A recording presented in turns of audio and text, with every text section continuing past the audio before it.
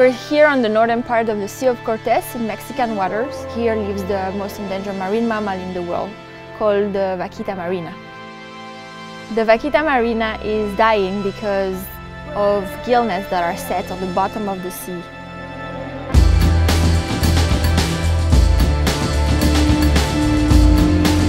President of Mexico, along with the Secretary of the Environment, has taken this on as a personal goal. So I know that they really want to save Vaquita.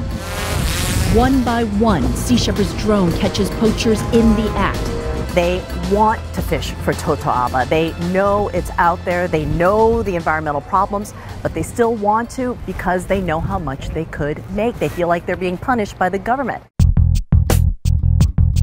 Gill nets are made to trap totoaba. The mm. totoaba is also an endangered fish. They kill this huge two meter fish just to get this swim bladder. It's been studied that the swim bladder is, has no medicinal properties. In China, the swim bladder can go up to $20,000 per kilo. I came here first with the Martin Sheen, our sailing boat, just to assess the situation. There was no even space for the ship to go through the nets. And with our presence, the illegal fishermen have to hide those nets. We've been using drones to find the poachers, to report their activity, and to understand how they work at night. We are also witnessing live animals, dead animals, and everything we see we try to share with the marine scientist community from uh, Mexico.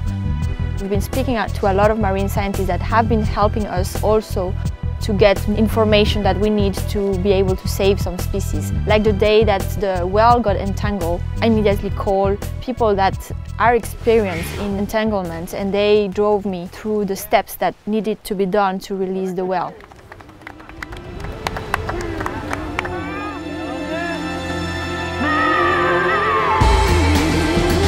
Now we're launching Operation Milagro 3. We're gonna have this amazing ship coming. It's the famous Sam Simon and I'm really looking forward to all the great work that we can do with that ship in collaboration with the Farley Mowat. We're working with the Navy and with Profepa, the environmental attorney for Mexican waters. We spot illegal fishermen, tell their position, record their activity, and then we work with the authorities so they can arrest them. It's amazing that a government is willing to work with an organization to save a species and the most amazing part is that they are letting their navy get involved and use all their power to like go against extinction. For me this is one of the most magical part of this campaign is the fact that we're all working together to save the Vaquita Marina. The more ships we are in the sea, the less chances the poachers have to go out. The more eyes we are on the sea, the more we see their illegal activity and we can report. And that's why the alliance with the Mexican government and working with the Navy has been really successful.